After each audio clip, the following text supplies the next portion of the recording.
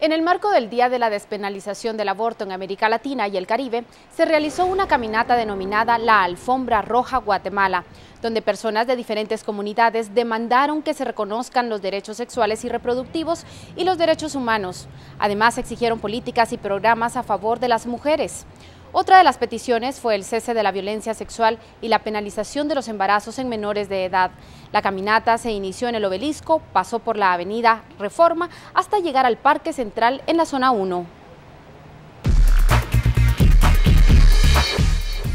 Estamos acá para demandar que se reconozcan los derechos sexuales y los derechos reproductivos como derechos humanos, que se reconozca que las mujeres tenemos derechos humanos y que por lo tanto se deben de cumplir una serie de políticas, leyes, programas a favor de las mujeres. Ahí tenemos varias demandas, las demandas van en relación a que se cumplan los derechos de las mujeres, que cese la violencia sexual, que se reconozca que efectivamente que es un delito los embarazos en niñas de, de 9 a 14 años, este, que se cumplan esas políticas realmente para disminuir los embarazos no deseados, no solo en niñas, sino que todas las mujeres, y que se reconozca sobre todo este, que los derechos sexuales y los derechos reproductivos son derechos humanos. En la medida que se vaya reconociendo estos derechos, realmente podríamos hablar de ciudadanía plena.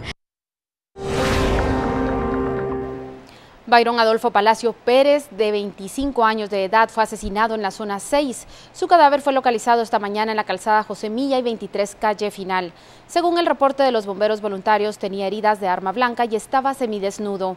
Conocidos de la víctima que llegaron a la escena del crimen comentaron que era comerciante, vendía juguetes y útiles escolares a los estudiantes que asisten a la escuela del sector.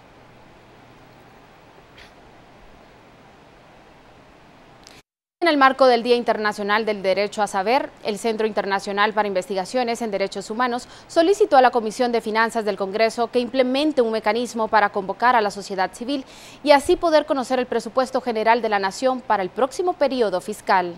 Las organizaciones ven con preocupación que el gasto social sigue siendo postergado, pues representan, según ellos, un 4.1% del Producto Interno Bruto para el 2014. Debiésemos de estar eh, asignándole al ministerio un presupuesto por arriba de los 15 mil millones.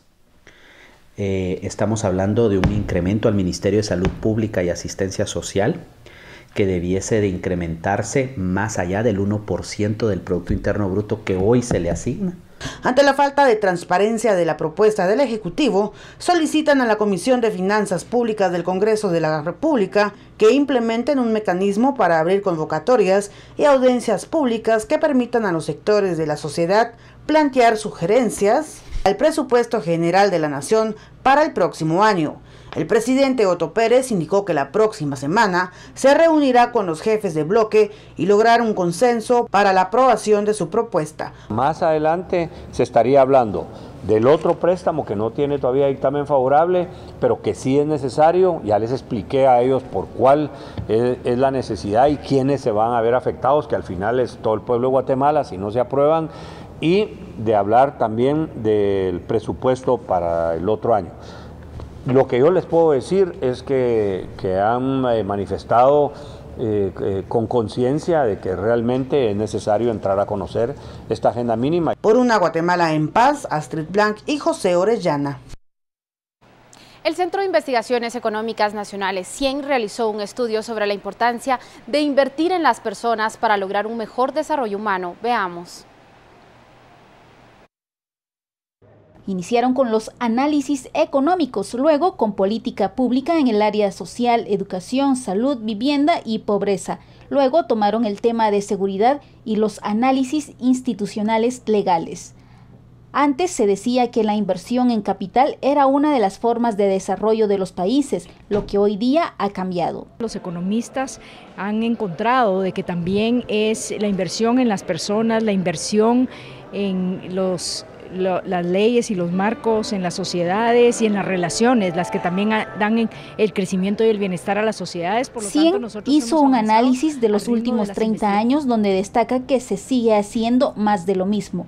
No hay méritos en el gobierno ni buenos servicios públicos, no se tiene seguridad para más inversión Es que cada gobierno lleva eh, unas propuestas, ¿verdad? no se respeta el mérito, especialmente los funcionarios en los servicios, ¿verdad? los maestros, los salubristas, los policías, debieran de estar en el Estado por mérito y debiéramos de tener a los mejores guatemaltecos eh, sirviendo al país. Según Aseña, la ley de contrataciones no está al ritmo del siglo XXI. El único avance es la educación con la ampliación en la cobertura, por lo que debe existir una mezcla de iniciativas con diferentes instituciones.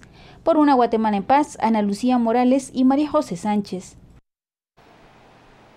Como parte de las actividades del presidente Otto Pérez en su viaje a la Asamblea de la ONU, el mandatario atendió el Foro Mundial de Negocios en su tercera edición en México, así como reuniones bilaterales para promover iniciativas contra la violencia regional. Social.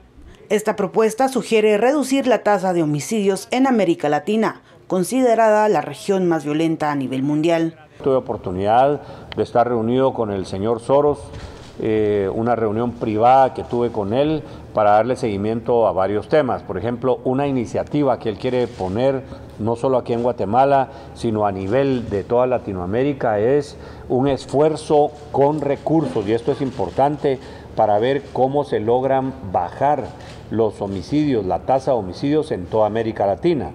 El presidente también atendió un foro en el que participó la exsecretaria de Estado Hillary Clinton, así como la reunión del Consejo de Seguridad de Naciones Unidas. Se aprobó eh, por 14 países y solo hubo una abstención que fue la Federación de los Estados de Rusia, pero los otros 14 países del Consejo de Seguridad de Naciones Unidas aprobamos el eh, convenio para reducir el eh, uso, producción y exportación y poner más controles sobre las armas ligeras. Finalmente anunció que el próximo Foro Mundial de Negocios en 2014 se llevará a cabo en este país por una Guatemala en paz, Astrid Blanc y Héctor Shutuk.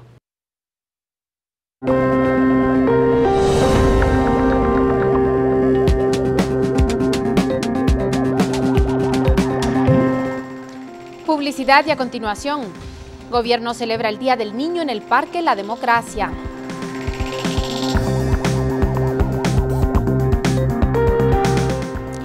Además, conozca la historia de Nelson Pérez, un pequeño que lucha por su vida y que necesita la ayuda de los guatemaltecos.